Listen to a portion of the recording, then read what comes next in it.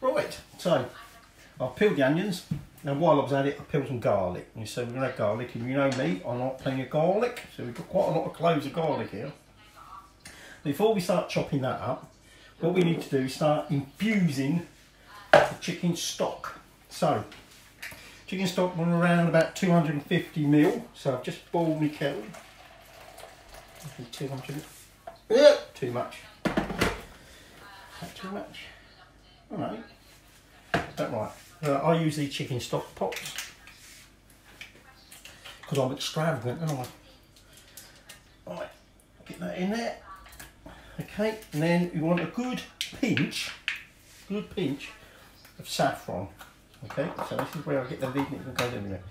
So there's quite a bit in there, so I'm gonna chuck a good portion of that in there. Okay. Um, if you buy it in a little them little Schwartz containers, you'd probably be thinking you've just chucked about 10 quid's worth in there.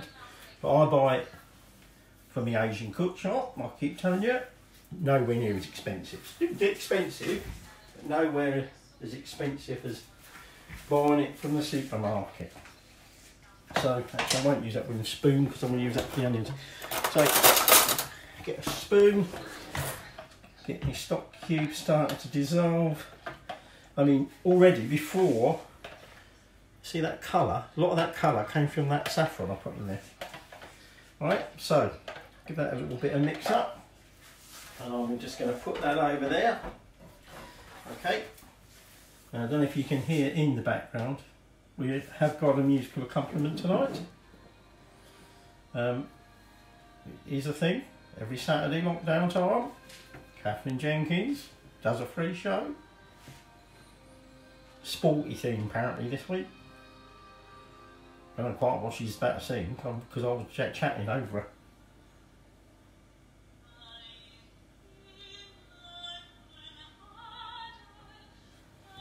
Don't know. Right. So, we've got the saffron going. Let's get our herbs. Whee. Tonight we're not going to use a spice blender because we're not using a huge amount. So I'm going to use the mortar and pestle. Okay, nice big heavy granite one this.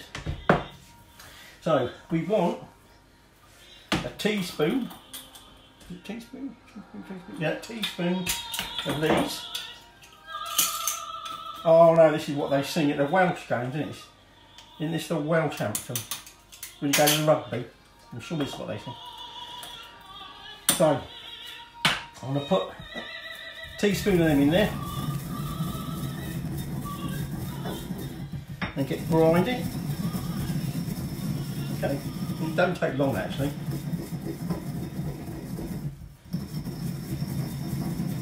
Sorry, Katherine. Can't quite hear you.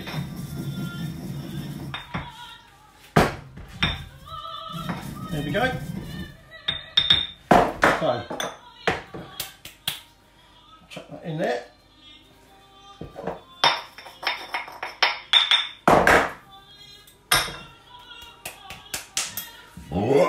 That beer is too gassy.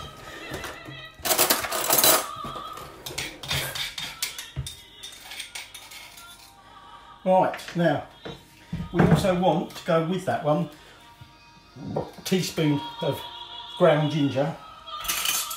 That I've already got ground. So I'm going to chuck that in there with that. And then, the last thing we're going to want, but we don't add it together at this stage, but while we've got all this here, we might as well do it, uh, we're going to have a teaspoon of ground black pepper. So I'm going to grind some of that up. Alright, so chuck them in there.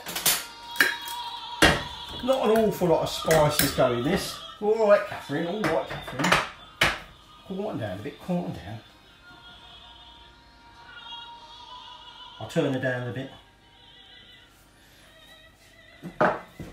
So, these are a little bit harder to grind up. Once I get going, they're alright. So, that's the spices prepared, that's all you're having. See, they all ping out all over the place. See, like this. Kitchen Diva, Singing Diva. She's wearing red though, not wearing pink. Sorry, she's just talking to the camera. Nice view. Can't hear her. Thanks very. Right, so I'll put that to one side. Right, our Rise 11 don't go until quite later on, right? So,